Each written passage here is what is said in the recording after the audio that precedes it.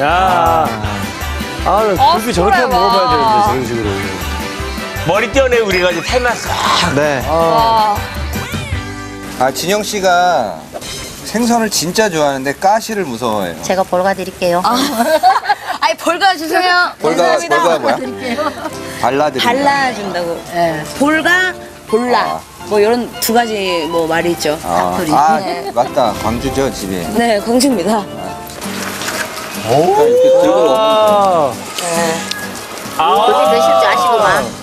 예? 굴비는 그렇게 통째로 드셔야 아, 맛있어. 굴비를 저렇게 숯불하고 와서. 그렇지, 어, 저기만 맨날 아껴 딱. 부른단 말이에요, 등을 딱- 집에서는. 와, 이거 껍데기 진짜 맛있네. 오. 다른 지역에서는 불간을 하는 편인데 우리 보청에서는 석간을 하는 거예요. 맞아. 딴 데는 얼음 네. 저, 저 소금물에 넣었다 예, 빼서 하잖아요. 하고 네. 우리 법성포 굴비는 석간을 해서 간이 빨리 배어 들어가지고 그래서 오돌오돌하게 물에 담가 놓은 것보다 그래서 맛이 더 있다고 해요. 그래서 이게 네.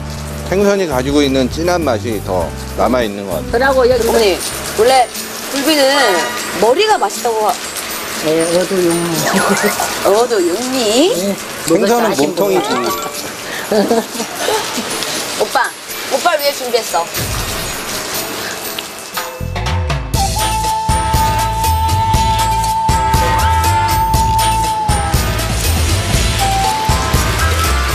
이걸 다 씹어 먹는다고? 어.